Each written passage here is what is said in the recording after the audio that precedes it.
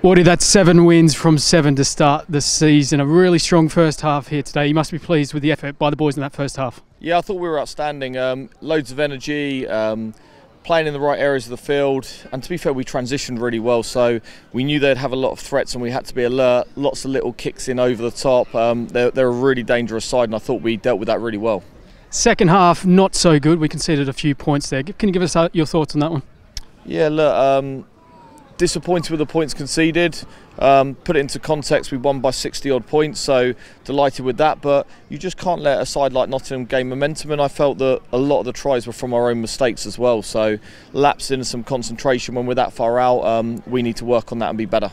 A few guys came on this afternoon and made a really strong impact. In particular, Jack Grant. You must be happy with the guys who come off the bench and do that. Yeah, he's been doing some really dangerous stuff in training. Um, he's got brilliant feet. Um, I thought as that game broke up, he looked really good as well. But I was also pleased with some of the control he showed as well in, in some of our exits. That finishes this first block of league matches. We move on to the cup. Uh, what's the plan for that? And obviously a big game next week, Sunday against Hartpury.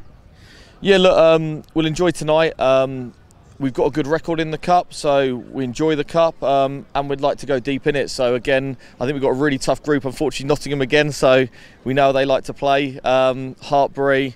Um, so yeah, it's going to be um, a tough start to it. We start with Hartpury next week, and obviously Jersey as well in a couple of weeks. Thanks for your time, Wardy. Congratulations on the win.